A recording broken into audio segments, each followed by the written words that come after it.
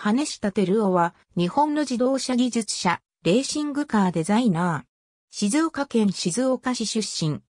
主にフォーミュラ1カーの設計に携わり、F1 チーム、ジョーダン、MF1、スパイカー、フォースインディア、レーシングポイント、アストンマーティニ F1 の要職を歴任している。幼少期のいわゆるスーパーカーブームがきっかけで車に興味を持ち出し、1976年の F1 世界選手権インジャパンを契機に F1 にも関心を抱く。高校生時代はオートバイレーサーを目指した時期もあったが、大きな事故に遭いその道を断念、技術者を目指すこととなる。東京学芸大学機械工学科を卒業後、日本のモータースポーツ企業トムスに入社。エンジニアメカニックとしての下積み経験の後、1993年に当時のフォーミュラ3用車 C であるトムス 033F、034F の設計に参画。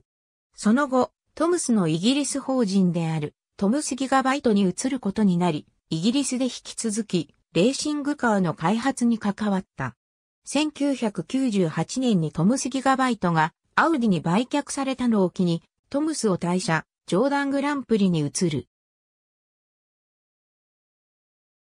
ジョーダンでは、ジョーダン199で冷却系、排気系の設計に関わったのを契機に、徐々にマシン全体の設計にも関わるようになり、ジョーダンが MF1 レーシングスパイカー F1 を経て、ホースインディアとなった2007年にプロジェクトリーダーに就任した。日本人として F1 コンストラクターでチーフデザイナー相当の役職に就いたのは羽下が史上初。フォースインディアでは2チームのデザインチームが1年交代でマシンの設計を行う体制が取られているため、羽下はその片方のリーダーとして以後 VJM01 を皮切りに同チームの F1 マシンの開発を率いる。そして2018年半ばから同チームを継承したレーシングポイントでも同デザインディレクターを務めている。